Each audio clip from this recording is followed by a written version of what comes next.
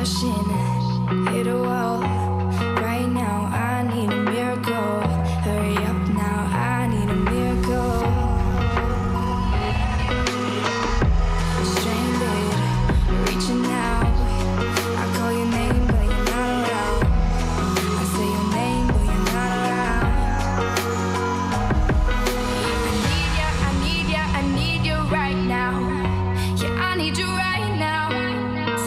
Let me, don't let me, don't let me down. I think I'm losing my mind now. So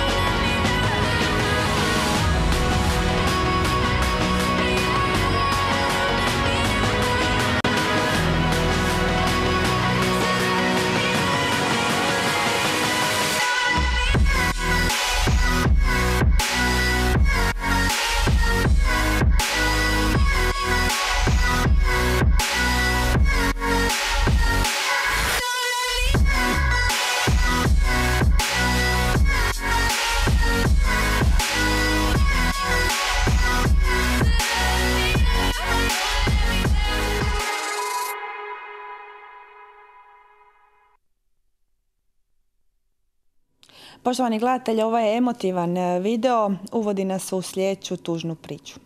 Ovaj video je sniman ljeti, ali sad znamo svi, vani je vrlo hladno. U azilu se nalazi više od 90 pasa i više nema mjesta niti za jednog novog psa, iako novi psi neprestano pristižu. Dobili smo apel iz azila, iz e, Društva za zaštitu životinja Rijeka. Kažu da došli pred zid i da moraju moliti za pomoć. U našem studiju pozdravljam Meli Trubić, volonterku azila Društva za zaštitu životinja Rijeka. Dobro večer. Pozdravljam i ja vas, hvala lijepa na pozivu. Jako sam sretna što je s nama i Leon Vranković, također volonter i privremeni čuvatelj e, ostavljenih pasa, ali reći ćemo sve što ti radiš je doista je to vrijedno pažnje i divljenja. I s nama je Lisko. Lisko je psić o kojem smo već govorili, on je na neki način postao viralna zvijezda, ali još uvijek traži e, osobu koja će ga udomiti. Eli, kakva je situacija? Kritična, zato smo evo i apelirali jer zaista proteklih tjedana e, konstantno nam dolaze što vlasnički, što psi bez vlasnika, štenci. Mi naravno ne okrenemo niti od jednog glavu i htjeli bimo naravno sve zbrinuti, međutim e, kapaciteti su nam zaista popunjeni i nemamo nažalost mjesta više za nijednog psa. Ja molim našu ređu da sada pusti kadrove, e, dakle to su fotografije snimljene danas. Da. Danas kad ste došli u azil, azil se nalazi između, na onoj cesti između Kastva i Kastva i Viškova. Viškova, da. E, Na ovim fotografijama vidjet ćemo što ste vi danas zatekli kada ste došli. Dakle, e, ovdje se Da. vidi e, i ono što se tijekom ovog perioda radilo u Da, azilu. da, Dakle, da. uredili ste sanitarni čvor, postavili nove ograde, zahvaljujući dobrim ljudima i donacijama. Donacijama. Ali ovo što vas je ujutro zateklo, to je ono što je nažalost svakodnevica, evo, psić koji je čekao vas. Dakle, netko je i danas ostavio još jednog psa ispred azila. Da. To je Evo, to svakodnevno. je, to je jedna od naših najtužnijih priča, odnosno prizor koji mi nikako e, na ulasku u azil ne želimo vidjeti. Bez ikakve informacije o psu, e, ostavljenog, znači samog, e, ne znamo u koje gluho doba noći, mi moramo ga, naravno ga negdje smjestiti. Sto pasa laje, znači u azilu i e, volonteri e, moraju očitati čip, znači ako je vlasnički, odnosno ako nije, naći mjesto za njega. najčešće znaju biti i štenci ostavljeni koji su rasuti po tom putu, po šumi gdje mi onda ih moramo i tražiti, odnosno naći privremene smještaje hitne, jer psi najčešće nisu niti cijepljeni protiv zaraznih bolesti, onda znači dolaze ovako dragi ljudi kao što je Leon, odnosno apeliramo na privremena čuvanja što su nam uvijek dobro došla i nikad nam nisu na odmet.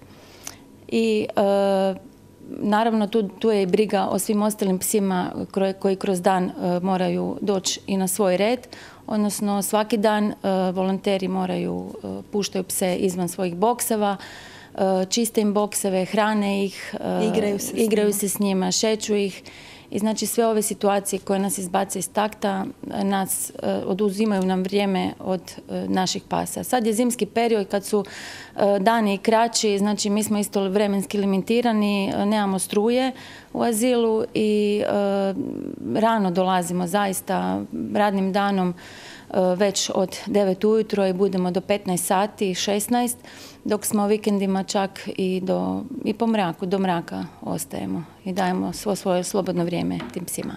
Leona, ispričaj nam malo ti svoju priču. Ti si nažalost ostao bez svog psa koji je uginuo i tvoja obitelj se od onda, e, da tako kažem, dobrovoljno daje i pomaže ovim ostavljenim psima na način da ih e, privremeno zbrinjavate. Mm, da, moja mama je kad je moj pas uginuo osjećala prazninu u kući i onda je se sjetila da bi bilo dobro uzeti još jednog psa, ali nije ga htjela baš udomiti, nego smo uzeli na privremenu. I prvo smo uzeli dva štenca, Čivo i Vava. I onda nam se svidjelo to i pa smo nastavili. Mhm. I do sad ste osam pasa na takav način zbrinuli u svojom stanu. Tako nešto, da. Mhm. E, najveći je problem kad su psi, kućni psi, kada se nađu na ovoj hladnoći vani. Da. Mhm. Kako oni reagiraju, Leone? A... Pokažu li ljubav odmah? Da. Je se teško rastaviti od njih nakon toga? A, teško je, ali se naviknete nakon nekog vremena. Mhm. E, što, što moramo znati o Lisku? Lisko je e, ostavljen psa, pasal e, Lisko je jedna od običajnih priča, znači ljudi nisu, život se mijenja, život ima svoj tijek i normalno desi se da ljudi ne mogu brinuti o psima i evo čovjek je, vlasnik je potražio našu pomoć, doveo Liska u azil, međutim on je, evo ima devet godina i još uvijek je e, moćan. Leon kaže da je prilično živahan i rado izlazi u šetnje, e, društvenje, miranje, ovaj, tako da e, jedan idealan partner recimo za ljude koji žele mirnijeg psa. Stavili smo ga na privremeni smještaj jer mislimo da azilski uvjeti nisu bili za njega. Njima se dopao kao sam pas, evo i još uvijek ga udomljavamo. Ja e, dakle, Lisko je jedan od tih pasa, on se nalazi na fotografijama koje smo pripremili. Ja molim e, našu režiju da nam pusti i te fotografije. Vidjet ćete te slatke njuškice i tužne oči koji čekaju svoje vlasnike.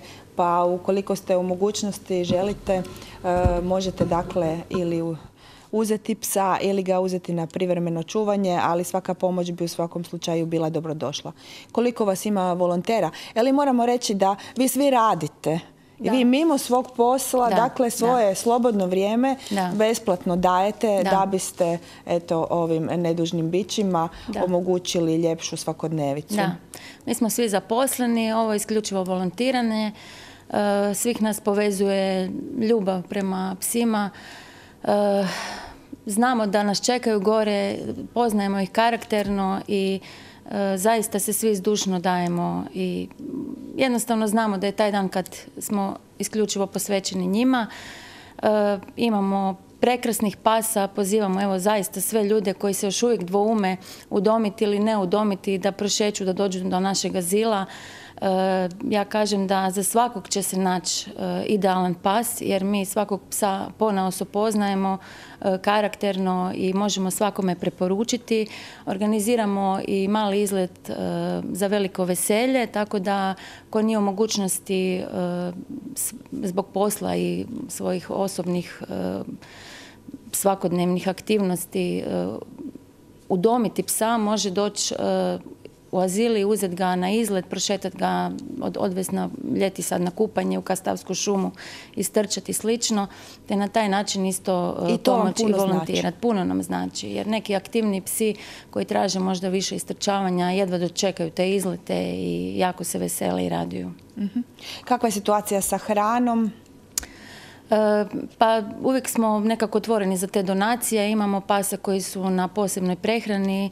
Tu su prvenstveno štenci koji e, moraju biti znači, na hrani za štence. Nadalje juniori, znači malo veći e, psići od štenaca, te ovi stari psi koji moraju imati light hranu. Imamo pasa koji su na sensitive hrani, na osjet, za osjetljive pse. Tako da još uvijek e, ljudi imaju slu- sluha te primamo donacije hrane, posebno znači za te sa potrebite. Mhm.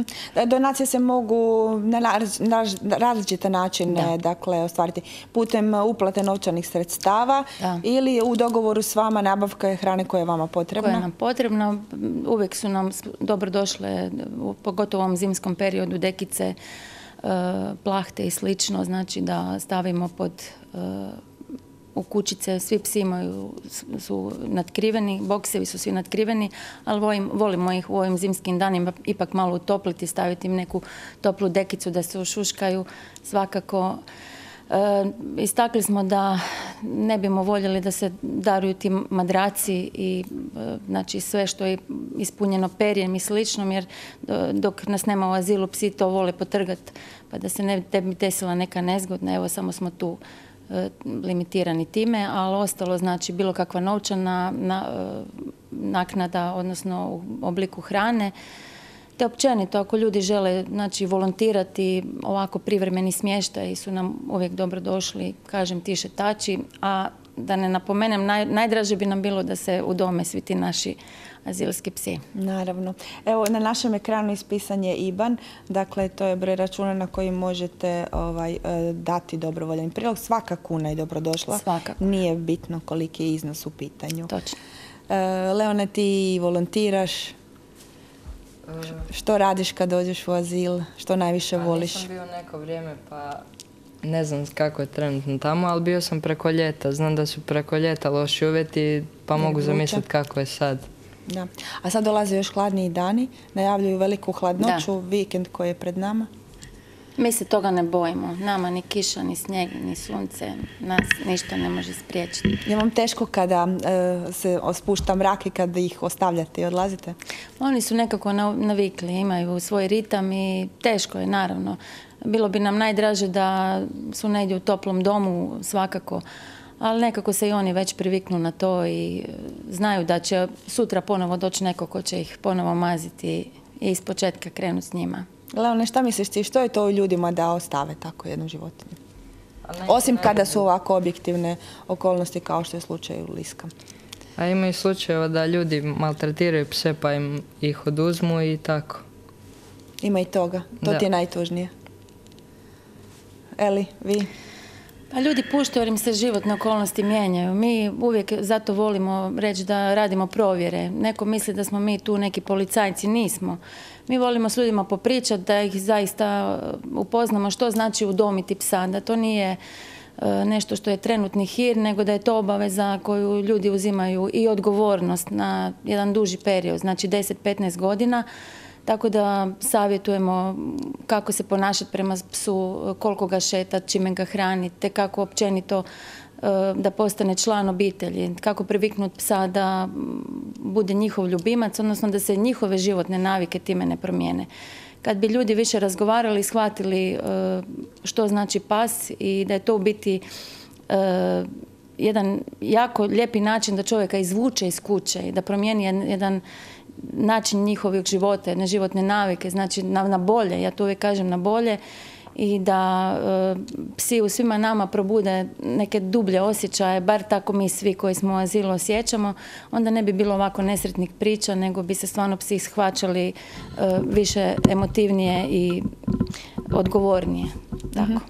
Ima li pasa koji su dugo godina u azilu već? Ima pasa koji cijeli život prove- provedu u azilu. E, mi normalno apeliramo baš i na udomljenje tih, mi ih zovemo starčića, starih pasa. Nekako svi vole udomiti štence, jer štenci rastu od malih nogu, pa se naviknu na čovjeka. Neki pak ne vole, nego vole udomiti od godinu, dvije, znači već kad su, znaju koliko je pas velik, kakav je karakterno. A mi opet malo volimo i pogurati ove koji imaju dvije, tri, pet godina gdje još uvijek mislimo da su moćni i da mogu još dobrano poživjeti te dat e, sreću i ljubav čovjeku, tako da, a ima i starčića od 9-10 godina, neki isključivo i njih dođu tražiti. Bimo evo ovim putem pozvali da se i takvi psi udomljavaju. Leone, koja bi bila poruka tvoja našim gledateljima koji sada ovo gledaju? Pa nije teško baš. Mislim, obaveza je imat psa, ali kad se naviknete, zaista je lijepo imat psa i malo vas izvući iz kuće. Od kompjutera, igrice. Da, Je li istina ono da je pas najbolji čovjekov prijatelj? je, Je. To si i sam iskusio. da, Da. Jesi se zaljubio već u Liska? jes. E, Eli, e, puno je problema, kao što ste rekli, nema struje, a, azil je kakav je, nalazi se gdje se nalazi. Da. E, imate i problem sa odvozom smeća. Puno Da. je problema. Da, evo sad trenutno nam je, to nam je aktualni problem, obzirom da su nam e, baju za odvoz pustili na cesti, znači od e, glavne ceste do e, samog ulaza u azil je negdje oko dva kilometra, tako da taj, dio moramo mi pješke ili autima e, strpat smeće i od, od, otpeljati do glavne ceste, pa bimo evo apelirali ako neko može riješiti taj odvoz i pomoći nam u tom smislu također bi nam dobro došla pomoć. Ja se nadam da oni koji mogu pomoći da su ovo čuli. I ja se nadam da, Da. će ova, ovo vaše gostovanje u studiju e, rezultirati nekim Da. dobrim dijelima. Evo, ja vam mogu reći informaciju da će sutra naše kamere doći kod vas u azil i napraviti jedan prilog da se stvarno vidi situacija kakva je sada, kakva je situacija zimi. Hvala E, ja vam se zahvaljujem što ste se odazvali. Evo, ja bih samo na kraj darovala kalendar ovogodišnji. On je posvećen baš ovoj temi o kojoj mi govorimo, o udomljenju. e, svi, svi udomljeni psi od prošle godine su u ovom kalendaru, pa evo da, da darujemo i vas i da zaključimo ovu temu sa kalendarčićem na tu temu. Hvala vam najljepša. Kalendar ima baš najljepše moguće ime, sretne njuškice. Da. Nadam se da će ih biti još puno. Hvala vam lijepa. Hvala puno. Hvala i tebi. Hvala.